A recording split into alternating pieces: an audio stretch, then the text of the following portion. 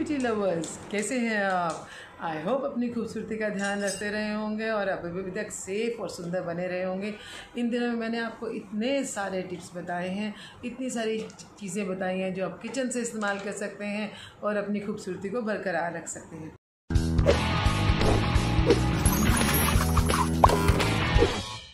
लेकिन फिर भी बाल तो बढ़ गए होंगे। आईब्रोज बढ़ गई होंगी और कुछ लोगों को शेविंग या दाढ़ी की सेटिंग के लिए ज़रूरत होगी, कलर करने की ज़रूरत होगी, बहुत सारी चीज़ें ऐसी हैं जिनके लिए आपको पार्लर जाना ज़रूरी है। लेकिन अब आप जिस पार्लर में, क्लिनिक में सैलों में जाएँगे, आपको बहुत ध्यान रखने की ज़रूरत है कि आप क्या करें, क्या, कैसे सैलून में जाएँ कहाँ जाएँ किन किन चीज़ों का वहाँ ध्यान रखा होना चाहिए?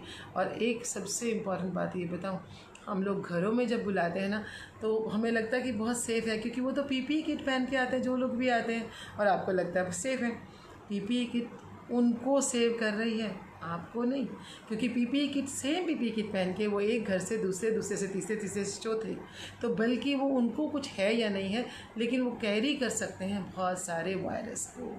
तो आप किसी को अपने घर में वायरस समेत आने की इजाज़त दे रहे हैं, क्योंकि पीपी किट के बाहर वायरस लगा होगा, वो हर बार चेंज नहीं कर रहे।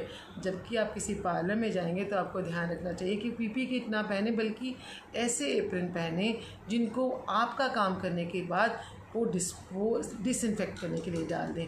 आपको भी एक एप्रन दें जिसको काम कराने के बाद वो डिसइनफेक्टेंट लोशन में डाल दें, ताकि वो हर बार, हर क्लाइंट के लिए नया पीपी नया एप्रन पहने। तो सबसे इंपॉर्टेंट आज मैं शुरुआत करती हूँ। मैं पूरी सीरीज़ बना रही हूँ। हर रोज़ आपको बताऊँगी कि आप किन किन बातों का ध्यान रखें अब अपनी ब्यूटी को बढ़ाने के लिए।